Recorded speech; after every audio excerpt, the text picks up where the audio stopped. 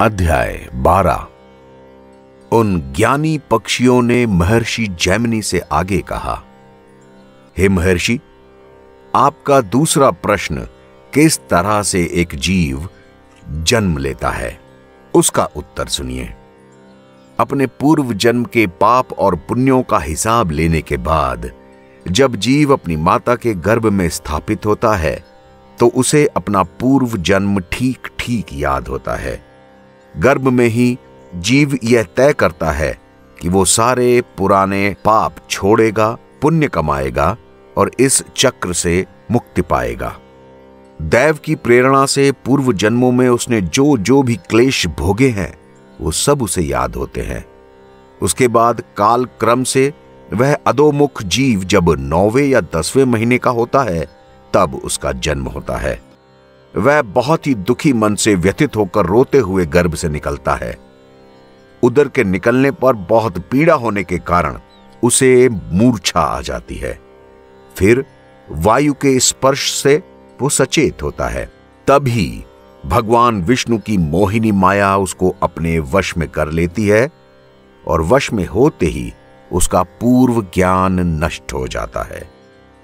इस तरह ज्ञान भ्रष्ट हो जाने के बाद वह जीव पहले तो बाल्यावस्था को प्राप्त होता है, फिर कौमारावस्था, यौवनावस्था और वृद्धावस्था में प्रवेश करता है। उसके बाद जब वो मृत्यु को प्राप्त होता है और मृत्यु के बाद फिर जन्म लेता है, तब भी उसे अपना वो जन्म याद होता है। इस तरह वह संसार चक्र में घूमता ही रहता है। कभी स्वर्ग में जाता है, कभी नरक में। कभी इस संसार में पुनः जन्म लेकर अपने कर्मों को भोगता है, कभी कर्मों को भोग कर थोड़े ही समय में मरकर परलोक चला जाता है। कभी स्वर्ग और नरक को भोग चुकने के बाद थोड़े से शुभाशुभ कर्म शेष रह जाने के कारण इस संसार में पुनः जन्म लेता है। नारकी जीव घोर दुखदाई नरकों में गिराए जाते हैं। स्वर्ग में भी ऐसा दुख होता है जिसकी कोई तुलना ना हो। स्वर्ग में पहुँचने के बाद से ही मन में इस बात की चिंता बन जाती है कि पुण्य खत्म हो जाने पर हमें यहाँ से वापस नीचे गिरना पड़ेगा। साथ में नरक में पड़े हुए जीवों को देखकर बहुत दुख होता है कि कभी हमें भी ऐसी दुर्गति भोगनी होगी। इस बात से दिन रात अशांति बनी रहती है। जन्म लेने के बाद बाल्यावस्था और वृद्धावस्था में भी दुख ही दुख भोगने पड़ते हैं ऐसे प्राणी को। जवानी में भी काम, क्रोध और ईर्ष्या में बंधे रहने के कारण अत्यंत दुस्सह कष्ट उठाने पड़ते हैं।